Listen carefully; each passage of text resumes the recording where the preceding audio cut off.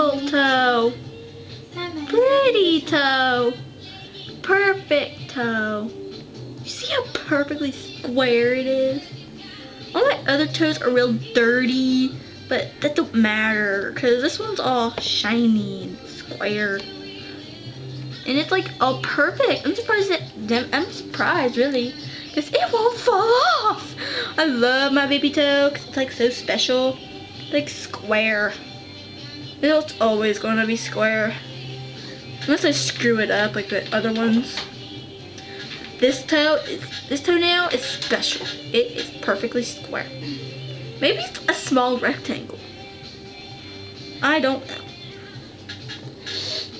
I love you perfectly square or rectangle toenail.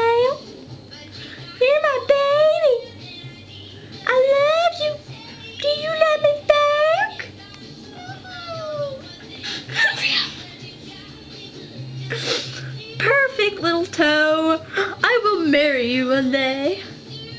Maybe not. You're ucky. No, I take it back. The other toes are ucky, but not my baby.